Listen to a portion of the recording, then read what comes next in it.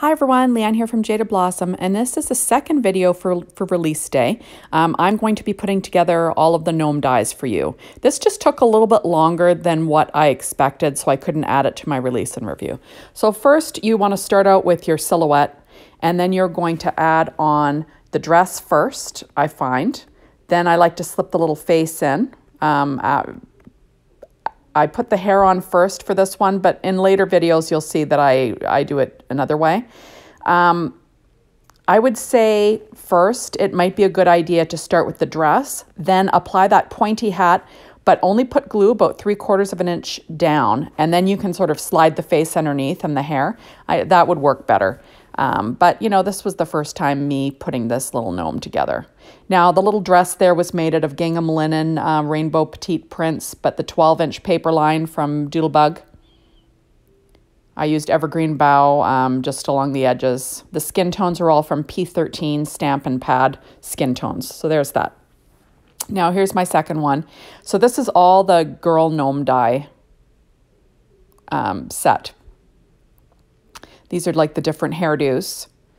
Um, now, it, the last little clip of the video that I put together, I do show you how to add the hair um, the way that they're meant to be added. Um, I kind of did a little bit different, um, just, you know, for a different look because you can you can put this hair on any way you'd like. But, you know, I did show you what, what it was intended uh, to look like um, on my last clip, just like the three different ways the hair looks. But you could slide the hair up under the hat and make it as short as you want. So, and that's what I did.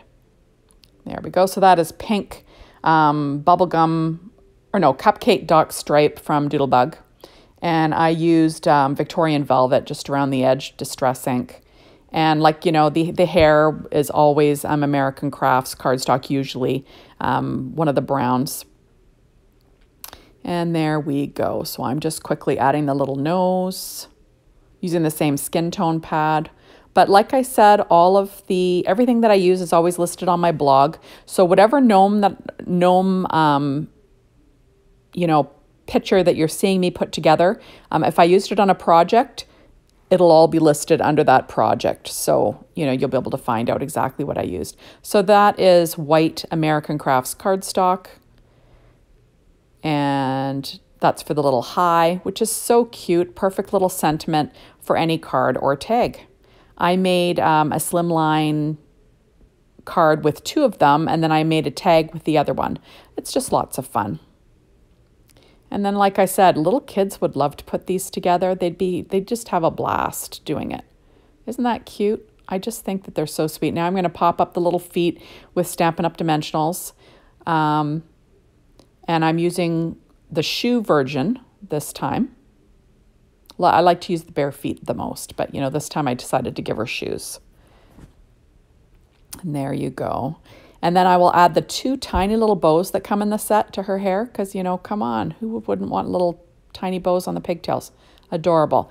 Okay, so now I am using the um, Girl Gnome Dies and the, the Gnome Dies Spring Add-ons and I'm going to put together uh, the butterfly first. So same thing, I used black cardstock for my silhouette, put the little dress on first, added the face, the hair.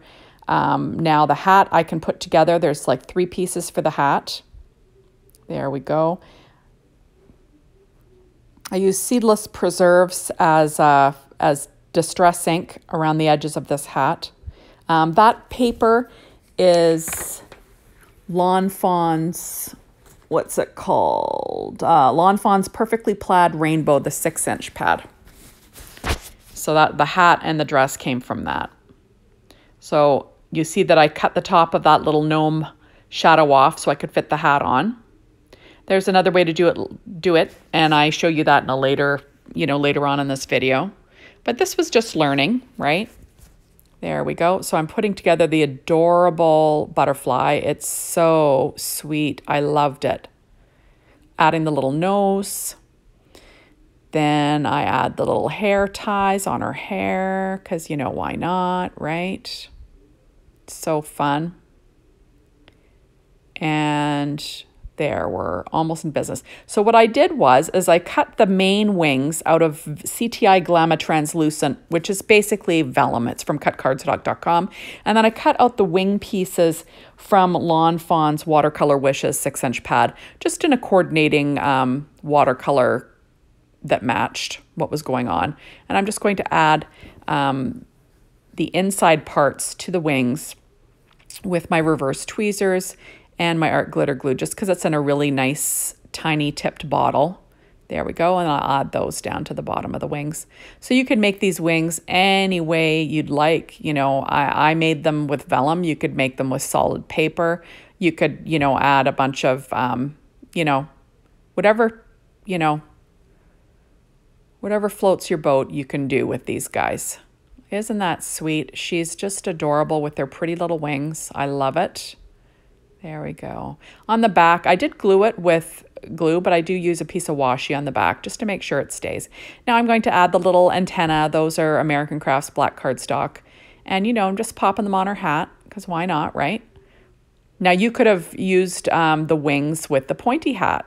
You know, you could pull out all of the other uh, gnome dies that we have have add-ons. You can mix and match them to your heart's content. So cute. And then now I'm going to add the little flower to her hat. How cute is that?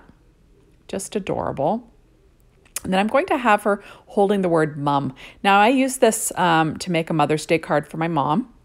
And um, it's just uh, adorable. But you could easily have a boy gnome holding the word mom, right? So would be super fun. Or you could maybe flip it upside down and it could say wow, right? There's no rules here. There we go. So the white is obviously um, American Crafts cardstock again. And there we go. And I'm going to pop his little her little hands up using my Stampin' Up! Dimensionals again, the little mini ones. You know, I find that's pretty handy. There we go. Now, like I said before, I am loving this whole release, but these gnomes were just so sweet. I really wanted to add this to the end of the release and review video, but I had to keep cutting and cutting, and then it got to the point where I was cutting out some of the gnomes. I couldn't show you all of them, and I thought, you know what, I'm just going to make a second video, and then that way you can choose which gnome you want to watch me put together, and Bob's your uncle. You know, you've got access to all of it. So there'll be one of these videos on my website, on my YouTube site, Lee-Ann K, or on Jaded Blossom's um, YouTube site too. I'm going to add the little little feet. I always add those last. And there you go. Like, how cute is that? She is just adorable. I just love it. Just making sure I get off the little, don't want any of that foam tape sticking out. There we go. Okay, now I'm going to put together the bumblebee one. So I'm, I'm putting together the hat. The hat is made out of cut cardstocks. Um, cut card, no, scrapbook.com has paper and it's the boho smooth. And I used distress ink in uh, vintage photo and inked around the edge. Now I am adding her little dress, right? That's always first. And that is cut out of Photoplay's Tulla Norbert, Norbert's Sweet as Honey. And it makes it look like she's got a little bumblebee body, right? Isn't that cute? I just thought that's adorable. So you just can't go wrong with that. Now I'm going to cut off the top of her hat. Now you could have used the pointy hat for this. I chose to use this little sun hat. I'm going to add the little face on. There we go. Then I'm going to add the hair. Now remember, the hair um, is meant to be a little bit longer and it lines up perfectly with the hat and it's long. But I gave her a little haircut by putting it up and under the hat. So this is totally up to you what you want your little gnome to look like. There we go, got the hat on. And then I'm going to pop on the little nose with some dimension because that always makes it look cuter, right? A little bit of dimension. I'll add the little antennas. That's just American Crafts cardstock again. So putting these together does not take long. I will say that cutting out the pieces can take a while, especially if you're using, you know, a whole bunch of different you know, cardstocks and pattern papers. It, it can take a, a bit. Um, you know, you might want to use some sort of plastic divider tray to keep track of all your pieces while you're doing it so you don't lose any. Um, but it's really easy. Now, the wings were cut out of that CT, CTI Glama translucent paper from cutcardstock.com again. And I'm just going to add a piece of washi on the back of that to hold the wings in place because you know vellum's kind of is one of those tricky ones to glue, right? I kind of like to use um, double-sided adhesive versus glue with it, but you know, what can I say? There you go, so cute. I'm going to add uh, little hands on. Now for my card, I actually add a little heart using the Jaded Blossoms banner dies. But remember, in our Valentine add-ons for the gnomes, there's there's one that has a little heart, you know, a little um, hands holding a heart. And you could have easily used that. I just chose to use my banner dies because they were out. So there he, there's, there's the bee. So adorable. Okay, so next I'm going to put together one of these little girls and she is holding a little mushroom. This is actually for my son's girlfriend. Her birthday's coming up and I make a birthday card for her uh, with this. So that piece of paper there that I started out with, that is um, Doodlebug's oh, I think it's bubblegum dot stripe.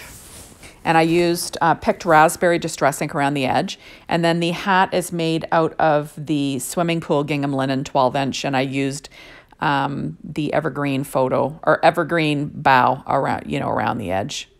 There we go. Isn't that sweet? Look at her and, and her hair, that long, those long braids. Adorable. And I have them facing in.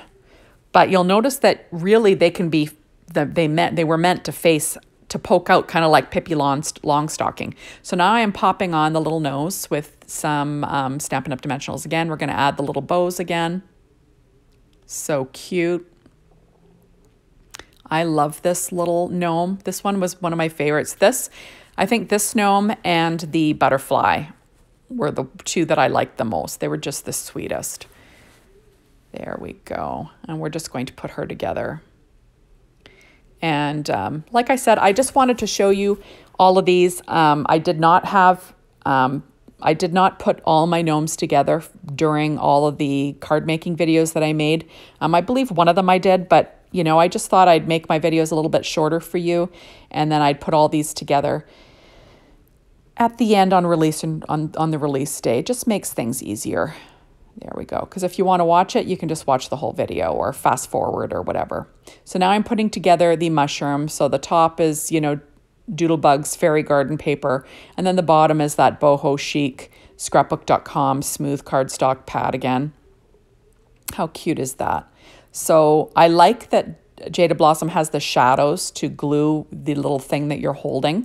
It just makes it a lot easier to put it together and have it all attached together with the hands you know, and then that makes it easy to then go and pop it up if that's what you'd like to do.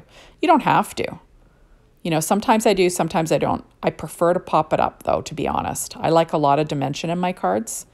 Um, I just think that's what makes it look, your cards look, you know, fantastic when you're using dies, when you have a lot of dimension. Be aware though, it will cost you in the mailing of those cards. But what can I say? You know, it is what it is, right? So there we go. So now I am just going to pop up this little mushroom with my foam tape. Or not my foam tape, my Stampin' Up! Dimensionals. And look, isn't she adorable? Oh. Okay, now this is the one I'm going to show you what the hair, the different hair looks like. See, it lines up with the bottom of the hat perfectly. See, so now you've got a long hairdo. Okay, now next, we've got the pigtails. See, it lines up with the hair, or lines up with the hat perfectly. There we go. Now you got the pigtails. And then last but not least, you've got the braids like Pippi Longstocking. And look, isn't that sweet? Adorable. You can have the hi. And then lastly, you can cut off the top of the hat and just add the little sun hat instead. So thank you so much for stopping by. Be sure to hop on over to the Jaded Blossom blog. Get inspired the Jaded Blossom store. If you want these dies, get them in your cart right away because they're going to sell out. I can tell you. They will uh, replenish those. You know you can be sure of that. Just you know make sure you have it on um, you know mark it uh, on your wish list so they know who wants it. And that way they can order um, them quicker. Anyways that's all. So thank you so much for watching my videos. I really appreciate it. And hopefully we will see you soon in my next one. Bye everyone